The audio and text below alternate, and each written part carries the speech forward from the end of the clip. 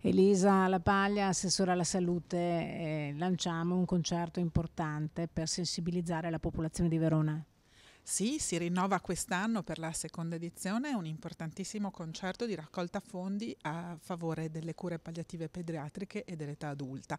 Quindi è davvero un'importantissima sinergia con le aziende sanitarie del territorio, oltre che col terzo settore e con i tanti sponsor che, possono, che hanno partecipato, ma possono partecipare anche i singoli cittadini partecipando al concerto appunto di venerdì 6 dicembre. Vi aspettiamo, ancora, c'è ancora qualche posto eh, dall'anno scorso si sono raccolti eh, oltre 15.000 euro, quindi abbiamo veramente bisogno dell'aiuto di tutti, di una grande squadra, perché sono servizi che sostengono fortemente le famiglie in, nel momento del bisogno.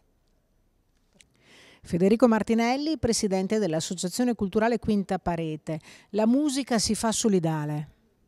Sì, un nuovo concerto che riprende le finalità di un evento che già l'anno scorso tenemmo in eh, Gran Guardia, quest'anno 21 artisti a raccontare e a sostenere le attività della rete veneta delle cure palliative, pediatriche e dell'adulto, con eh, un intento di far conoscere queste attività ma anche di raccogliere fondi, quindi musica per fare del bene.